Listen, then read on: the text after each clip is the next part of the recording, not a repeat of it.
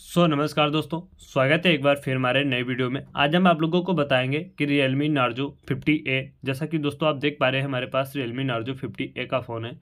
दोस्तों आप इसमें कॉल वेटिंग को ऑन करना चाहते हैं तो कॉल वेटिंग को कैसे ऑन करेंगे? जब भी आपका कोई फ़ोन आता है और आपके दूसरा फ़ोन आता है तो आपके डिस्प्ले पे शो नहीं करता है तो किस प्रकार से आप उसे शो कर पाएँगे? तो सिंपली दोस्तों, आपको करना क्या है, पहले आप अपनी सेटिंग को ओपन करेंगे। जैसे आप अपनी सेटिंग को ओपन करेंगे तो आपके सामने कुछ इस प्रकार का इंटरफेस हो जाएगा। अब यहाँ पे देखेंगे दोस्तों, लिखा है SIM card and mobile data. तो आपको SIM card and mobile data पर क्लिक कर देना है। जैसे आप इस पर क्लिक करेंगे तो आपके सामने कुछ इस प्रकार का इंटरफेस हो जाएगा। अब यहाँ पे थोड़ा सा स्क्रॉल डॉल करेंगे। यहाँ पे देखेंगे दोस्तों नीचे लिखा है कॉल सेटिंग तो आपको कॉल सेटिंग पे क्लिक कर देना है। जैसे आप अपनी कॉल सेटिंग पे क्लिक करेंगे तो यहाँ पे देखेंगे दोस्तों लिख रहा है कैरियर कॉल सेटिंग तो आपको कैरियर कॉल सेटिंग पे क्लिक कर देना है। उसके बाद में आपके सामने कुछ इस प्रकार का इंटरफेस हो जाएगा। अब यहाँ पे देखेंगे दोस्तों लिखा एडिशनल सेटिंग तो आपको एडिशनल सेटिंग पे क्लिक कर देना है। अब यहाँ पे देखेंगे दोस्तों, आपको सिम यूज़ करना है। जो भी आप सिम पे लगाना चाहते हैं, वो आपको सिम यूज़ कर लेना है। जैसे सिम वन या सिम टू जो भी आपको यहाँ पे हम सिम वन पे लगाना चाहते हैं तो सिम वन पे क्लिक किया।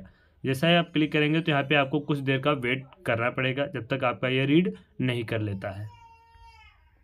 जैसे आप इसे वेट कर लेंगे तो यहाँ पे देखेंगे दोस्तों कॉल वेटिंग का ऑप्शन शो कर रहा है। आप इसे ऑन जैसा कि दोस्तों ऑफ़ होगा तो आप इसे ऑन कर लेंगे। इस प्रकार से जैसे ही आप इसे ऑन कर लेंगे, जब भी आपकी कोई भी कॉल आएगी और आपकी कॉल डिस्प्ले यदि आप एक कॉल से रिसीव बात कर रहे हैं और दूसरी कॉल रिसीव नहीं करना चाहते तो आपकी वो हर बार डिस्प्ले पे शो करती रहेगी।